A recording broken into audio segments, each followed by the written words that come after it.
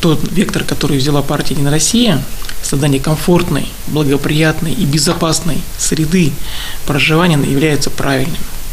Вот отклики, которые идут со всех субъектов, в том числе Курганская область, показывают, что жители очень позитивно оценивают реализацию этого проекта.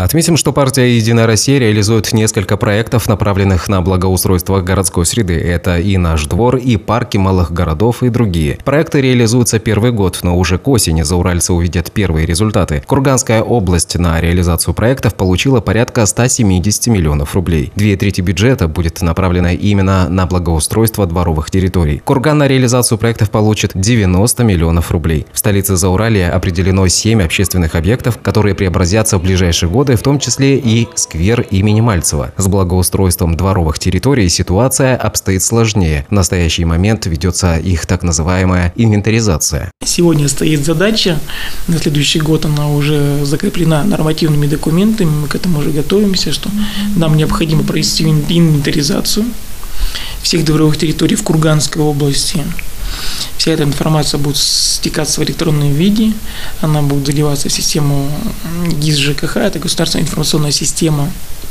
когда все будет налажено их учет, тогда мы будем четко понимать, сколько у нас дворовых территорий, в каком они состоянии, что там необходимо делать. И, наверное, самое главное, мы будем уже, наверное, подходить комплексно на сегодняшний день партия по итогам форума готовит рекомендации для глав муниципальных образований по наиболее эффективной реализации партийных проектов. Эти рекомендации разошлем, потому что будет очень большая работа на пятилетний срок. Я просто повторюсь, что мы сейчас должны сделать инвентаризацию всех дворовых территорий в Курганской области. Это очень большая работа, но она на самом с помощью современных технологий, я считаю, вполне успешно будет у нас реализована это составить определенный комплексный план развития территории городской среды. Я говорю, подключив туда, э, у нас есть разные программы, которые надо использовать и максимально учитывать преимущества каждой программы.